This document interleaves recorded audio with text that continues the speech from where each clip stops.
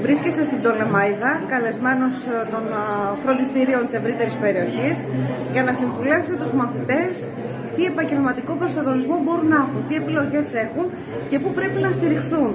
Ποιοι είναι κάποιοι, εν συντομία, χρυσοί κανόνες για να επιλέξει κάποιος επάγγελμα ίσως; Ναι, είμαστε σήμερα εδώ ακόμα μια χρονιά με το Σύλλογο Φροντιστών Δυτικής Μακεδονίας για να βοηθήσουμε τα παιδιά σε μια τόσο κρίσιμη επιλογή όπως είναι ο σχεδιασμός της ταχυδρομία.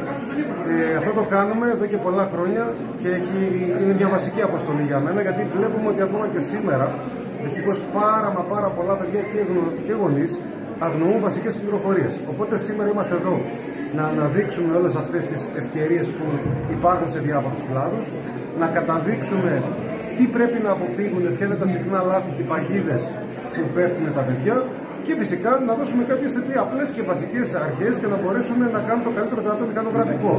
Με απλά λόγια, γιατί ξέρετε, πολλές φορές μας προβληματίζει, μας μπερδεύει το μηχανογραφικό. Στο μηχανογραφικό είναι τρεις βασικοί κανόνες που πρέπει πάση θυσία να εφαρμόσουμε. Ο πρώτος έχει να κάνει με το να εκφράσουμε τις πραγματικές μας επιθυμίες, να εκφράσουμε τα θέλω μας. Ο δεύτερος είναι να γνωρίζουμε πάρα μα πάρα πολύ καλά τις δυνατότητες των τμήματων που έχουμε μπροστά μας και μπορούμε να επιλέξουμε, είτε είναι τα μεταπηγειακά, είτε είναι τα επαγγελματικά δικαιώματα, είτε είναι οτιδήποτε σχετίζεται με το να έχουμε μια καλή εικόνα για το προφίλ ενός τμήματος. Και το τρίτο, να ξέρουμε τις δευτερεύουσες πληροφορίες που έχουν να κάνουν είτε με τις μεταγραφές, είτε με τις αντιστοιχίες των τμήματων ή και γενικότερα με το τι έρχεται εκεί έξω στην αυρωινή αγορά εργασίας.